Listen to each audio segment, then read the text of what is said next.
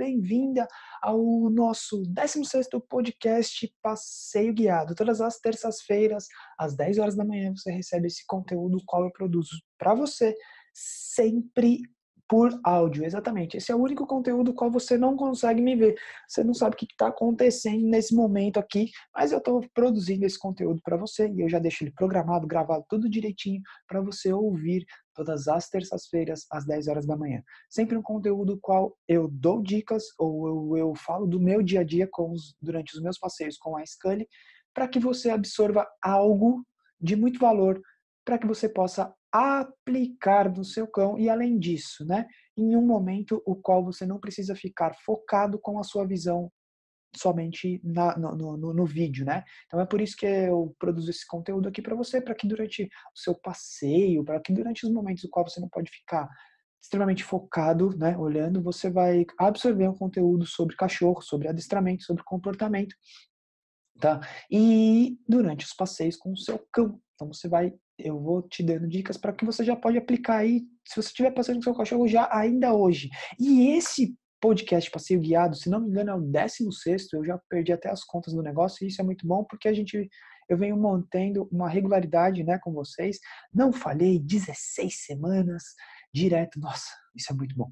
Beleza? Então, é, o, o, o, podcast de hoje, gente, é, eu escolhi um tema muito bom que você, se você estiver passeando com seu cachorro, você já vai começar a usar ele agora, tá? Mas pode ser que ele demore um pouquinho para você entender tudo, mas você já vai começar a fazer o que eu tô te fazendo, o que eu tô te passando agora. E o que eu vou te passar é sinais. Exatamente, galera, sinais. A gente precisa ficar muito mais ligado aos sinais que os nossos cães nos dão, não só durante os passeios, mas principalmente durante os passeios. Não só, mas principalmente. Tá? E por que eu estou falando principalmente? Porque durante o passeio, nossos, o nosso cão, os nossos cães, eles demonstram diversos tipos de sinais para a gente. Porém, a gente está só focado em um, um ou outro sinal, né? Que são os mais aparentes, os mais perceptíveis, os mais informativos para a gente, que são os sinais que o nosso cão pode transmitir com a boca, né? Que é aquele sinal é de quando ele está Tá? Então, esse é um dos sinais que a gente fica mais atento aí, que é, ah, meu cachorro já está cansado quando ele está fazendo isso. A gente precisa entender que isso é uma troca de ar, né? E não necessariamente o seu cão esteja cansado, e sim ele está se resfriando, ele está resfriando o corpo. Já falei sobre isso em algum conteúdo que eu já postei, eu acho que, se não me engano, em um podcast, é, já falei sobre esse tipo de, de sinal que a gente precisa ficar atento. Não necessariamente o seu cão está com sede ou ele está é, cansado por causa disso. Ele está assim resfriando o corpo dele. Então, óbvio que você precisa ficar bem ligado a esse sinal e ligado também aos batimentos do seu cão, né? Quando a língua dele, é, a língua não, quando o, o corpo dele, isso é um batimento. Quando o seu cachorro tá tudo torto lá os batimentos, então você tem que ficar bem ligado a esse tipo de sinal. Mas não é exatamente esse sinal que eu, tô, que eu quero que vocês foquem, que eu quero que vocês percebam. São sinais mais sutis. Tá? E esses sinais mais sutis, eles são sinais que mostram muita coisa pra gente, mostram mais coisas do que nós deveríamos. É... Vamos lá, mostram mais coisas do que a gente imagina. Por quê? É, a gente fica ligado nesse sinal da, do cachorro arfando, né? E a gente fica ligado num outro sinal, o rabo. Sempre a gente fica ligado no rabo. Mas e aí você tá com um cachorro que não tem rabo? Cara, a Scully não tem rabo, ela é um cão anuro. Se você não sabe, se você queria saber, eu acho que pode ser até um próximo assunto.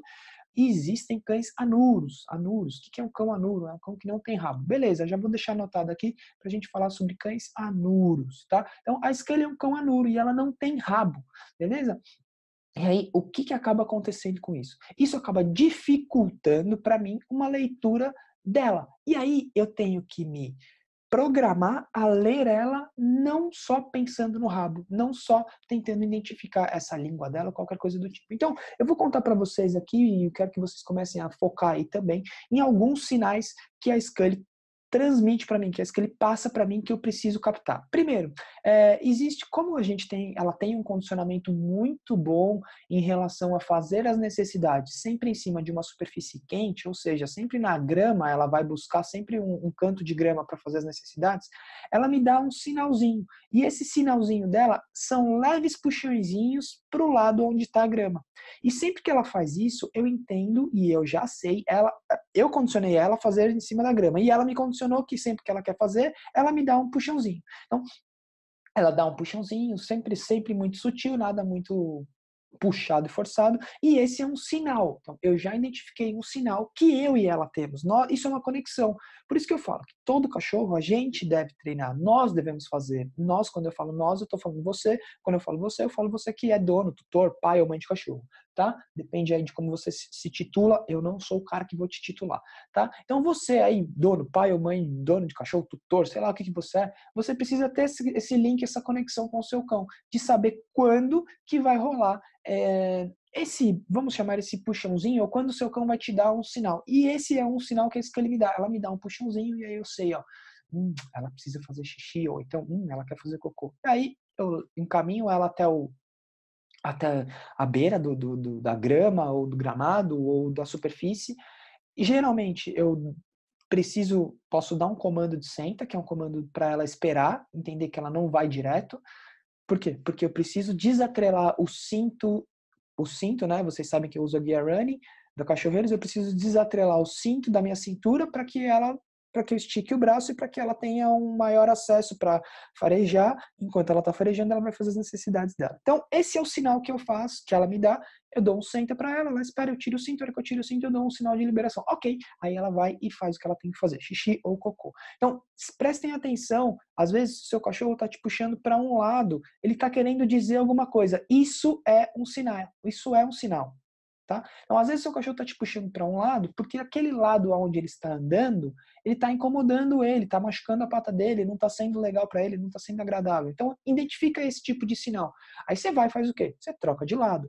Né? No último podcast, eu falei sobre a Scane mudar de lado. Ela estava saindo do lado esquerdo e entrando no meu lado direito. Por quê? Ela estava. É, é, aquilo me deu um sinal, aquilo foi um sinal. Por quê? Porque ela estava incomodada com algo que estava acontecendo. Então, ela me deu um sinal, eu captei o sinal dela e na sequência eu resolvi o problema. A mesma situação com essa com esse com esse sinal que ela me dá quando ela me dá leves puxões para o lado aonde ela quer ir fazer as necessidades, tá? Lembrando, se ela sempre ficar puxando para o lado aonde ela quer, aí eu vou acabar fazendo o que ela quer.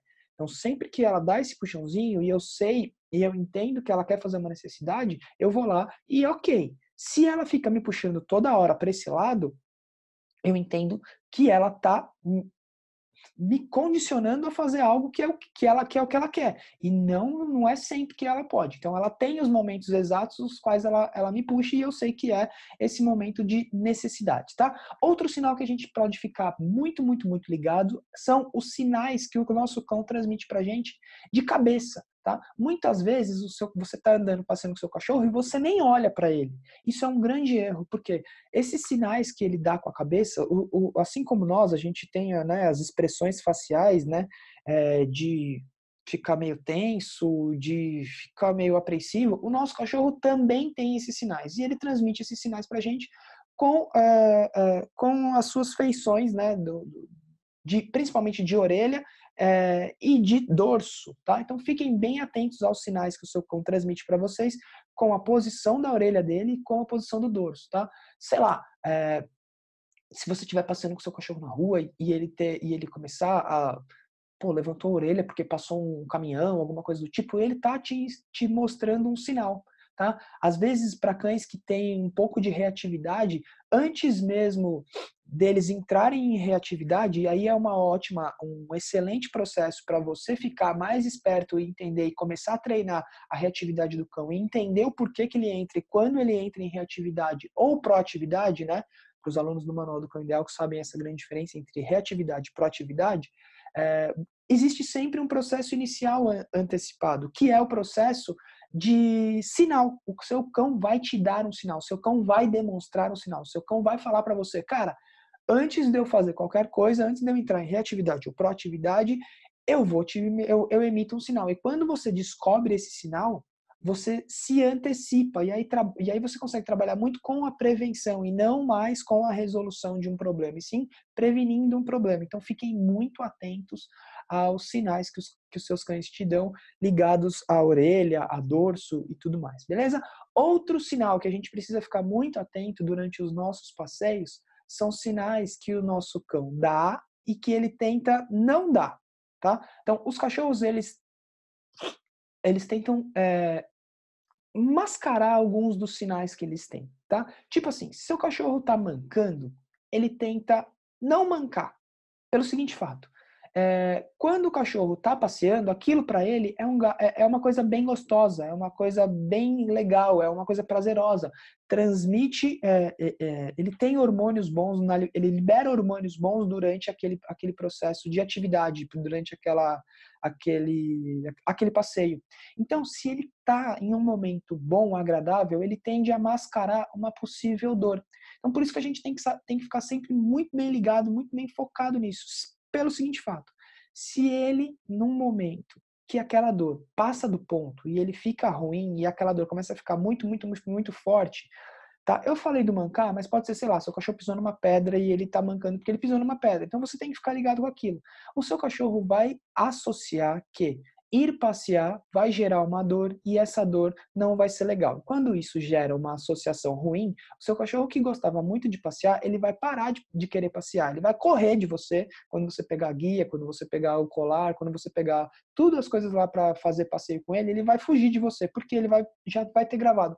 Toda vez que eu saio passear, tem uma dor. Ou então a gravação na cabeça dele vai ser: a última vez que a gente foi passear doeu e eu não quero que isso aconteça com você e nem com o seu cachorro. Então, se você tem que ficar extremamente ligado a qualquer sinal que o seu cão transmitir para você em relação às patas, as quatro patas dele. Às vezes o seu cachorro está com uma unha que está descamando e essa unha, ao raspar no chão, está incomodando.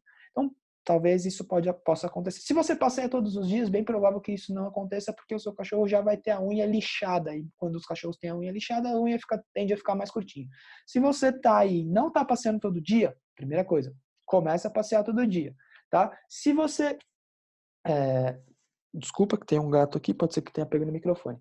Tá? Se você não está passeando todos os dias, então comece aí a passear todo dia. Tá? E alguns cães, né, como os Dash, né, que, que às vezes não encostam as unhas totalmente no, no chão, também pode acontecer isso. Então, vocês precisam ficar extremamente ligados ao sinal que os seus cães te dão em relação a mancar, tá? Começou a mancar, você sentiu que o negócio não tá legal, você sentiu uma diferença aí no, no, no caminhar do seu, do seu cachorro durante o seu passeio, você cessa o passeio na hora, volta para casa. Cara, se você conseguir jogar esse cachorro no colo, melhor, tá? Muito cuidado. Eu não quero que o seu cão associe passeio com dor, passeio com coisas ruins, passeio com qualquer coisa do tipo que não seja agradável, que não seja a produção de hormônios bons. Beleza? É, bom, eu acho que basicamente a gente tem muitos outros sinais, mas se você já começar a identificar. Basicamente não, né? É... Basicamente foram esses sinais que eu passei para você que se você já começar a identificar esses sinais, com certeza você vai ter uma grande melhora no seu passeio e na leitura dos sinais que o seu cão vem transmitindo para você enquanto você passeia com ele. Fique bem atentos a esses sinais, são sinais básicos, tá? E óbvio que a gente tem muitos, muitos, muitos, muitos outros sinais para identificar, tá bom? Então, gente, para você que me acompanha diariamente, você sabe que todas as terças-feiras a gente tem podcast Passeio Guiado, todas as quartas, o Papo de Impacto, todas as quintas, o Notícia do Cão, às 15 horas, ao vivo no YouTube. Todas as sextas agora nós temos o Dog Challenge. O que é o Dog Challenge? Só para você que não sabe ainda, eu faço um vídeo do, da Scully e eu faço um desafio para vocês, para vocês postarem e, e, e me marcarem para a gente é, interagir aí, beleza? Todas as segundas-feiras também tá rolando o blog do Dog. Gente, eu fico por aqui. Ah! Todos os dias, às 9 horas da noite, você recebe também um conteúdo, o qual eu retiro de uma aula, de uma palestra, de alguma coisa do tipo assim. E se você quer consumir, quer mais conteúdo, mais, mais ainda, é só você ir lá na minha bio, tem um link, você vai cadastrar o seu e-mail e eu vou te mandar conteúdo por e-mail também, tá? Não perde essa oportunidade, não perde essa chance, beleza? Sempre que, se você estiver assistindo isso aqui no YouTube, cara, se inscreve no canal aí, Beleza? Ah, não, é podcast, passeio guiado. Rafa, esquece o que você falou.